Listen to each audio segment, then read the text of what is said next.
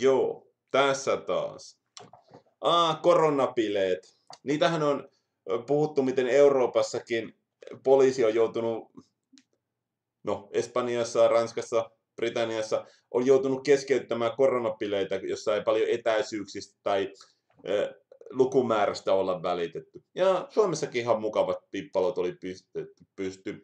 Lapin poliisi oli niin kuin Kemissä huomannut, että 50-60 nuorta oli vähän juhlimassa ilman turvaetäisyyksiä, että eh, kommentoi näin, että saunomista, tanssimista ja rajua ryyppäämistä.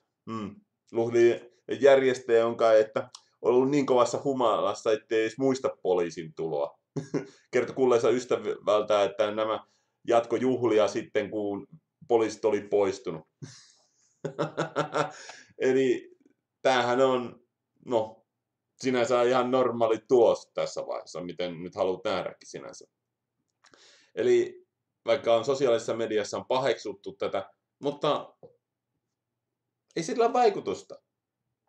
Iso osa nuorista, niin kuin, sillä on tietynlainen hyväksyntä tai muista, ei ne välitä. Ja minkä takia ei, ei olisi välittämättä, koska nuorille perusterveille ei yleensä, on aika pieni riski, että tämä COVID aiheuttaisi pahoja ongelmia. Tietysti jotkut uudet kannat voi olla aika ikäviä, koska saa nähdä, miten käy tässä vaiheessa.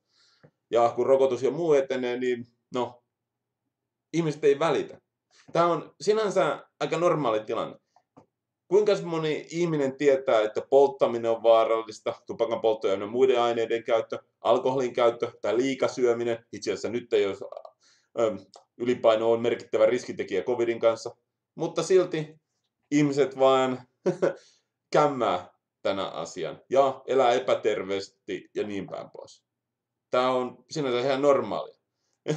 ja hallituksen niin kuin nämä perustilanteet, mitä ne koittaa saada, että hei, yritetään saada tätä nyt jollain tavalla niin kuin ulkona liikkumiskieltoja niin kuin Euroopassa ja liikkumiskieltoja, jotain sulkuja ja niin päin pois. Tässä yritetään saada homma nimi, minimiin ainakin niiden kansalaisten, jotka noudattaa yleensä jossain määrin määräyksiä. Että ne saadaan noudattamaan, ehkä se laimenee sinänsä. Ja tietysti ne, jotka on kokonaan välittämästä tästä sotkusta, no ne sitten rikkoo näitä määräyksiä ihan miten haluaa sinänsä. Ja osa pääsee karkuun, osa sitten yritetään rangaista ja niin päin pois saada kiinni. Mutta niin kuin tässä tapauksessa, mitä jos ne on varattomia tai muuta vastaavaa, jotka tekee niin kuin ulkona liikkumiskielto tai muuta, mitä jos on koditon, on varaton ja muita vastaavaa, no sakottaminen on yhtä hyödyllistä kuin myymällä varkaiden, jotka on varattomia. Eli tämähän on se tilanne tässä vaiheessa. Eli tämähän on yleensä yhteiskuntien perusongelma tässä vaiheessa. Lainkuulijaiset ja jossain määrin vastuullisesti ihmiset pyrkii tekemään noudattamaan tätä tilannetta. Okei. Okay. Ja sitten ne muut yleensä niin kuin on vähän enemmän tai vähemmän välittämättä tästä asiasta. Niin kuin sanoin, samalla periaatteella, jos me esimerkiksi suomalaiset niin kuin oikeasti lopettaisiin tämän tolkuttoman ryyppäämisen, tupakan ja pyrkisi huolehtimaan terveydestä se, ettei liikalihapuutta olisi, niin kuvittelisin, että terveydenhuoltojärjestelmä olisi paljon paremmassa tilanteessa. Mutta niin kuin yksilöllisesti ja ryhmien keskuudessa ei tästä oikein mitään tule. Koska ihmiset on mitä ne on. Hei, Suomessa jokainen voi valitettavasti vapaasti myrkyttää itse alkoholilla ja muilla aineilla, jos haluaa. Se on vapaasti, saa tehdä se tietenkin helvetin hölmöä sinänsä. Ja joillakin voi olla addiktioita ja niin on muita mielenterveydellisiä ongelmia, että ne ei pystykään olemaan välittämättä näistä asioista. Että niin on pakko saada ruokaa, aineita, tupakkaa tai muuta vastaavaa.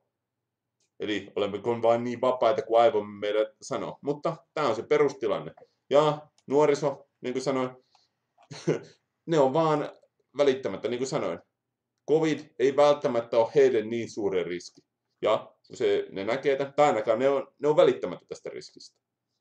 Sinänsä ei mitään on ennakoitavaa. Tämä tuli tapahtumaan.